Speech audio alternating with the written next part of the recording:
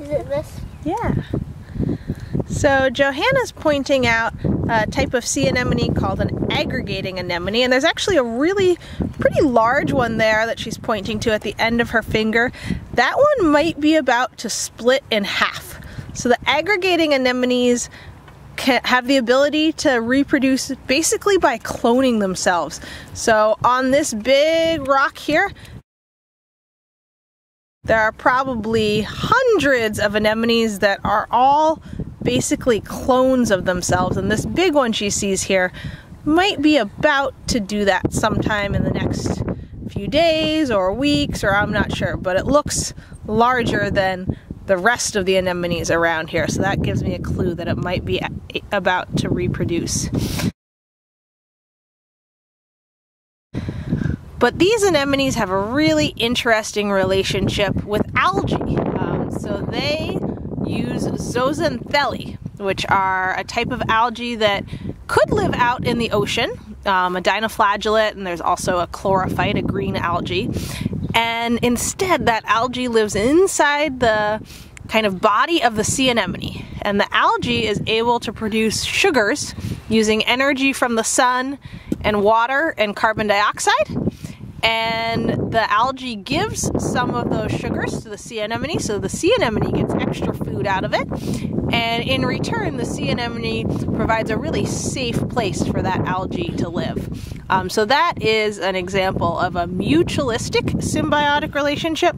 So that means that both of the organisms benefit. It's a smiley face smiley face. It's good for the sea anemone and it's good for the algae now it's known to happen in these aggregating anemones that we have here, um, but it's also possible that the type of sea anemones that live in Kachemak Bay, the burrowing anemones or moonglow anemones, sometimes we see them and they have bright green tentacles.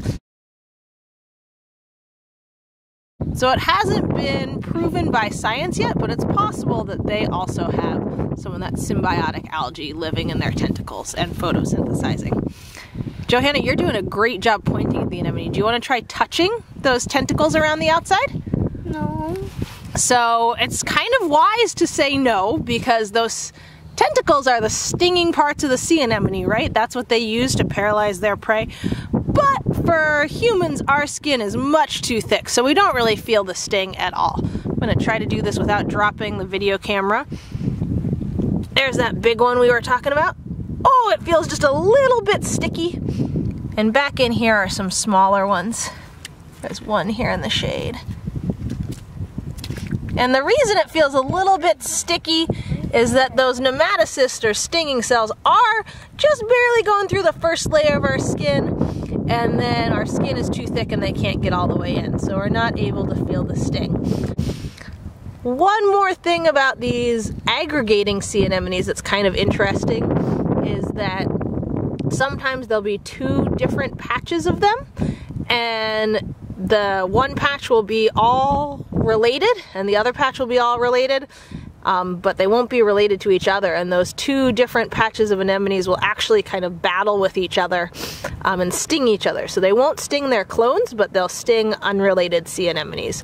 And so that's an example of a kind of relationship in the intertidal zone that's all about competition so they're trying to create their own territories and they don't allow other sea anemones to move into those territories if they're unrelated. And there's also, we talked about clam siphons earlier. You can see a clam is pulling in water, filtering out the plankton, and you can see those little bubbles and little spout coming out there. Hey Johanna, come look closely at this.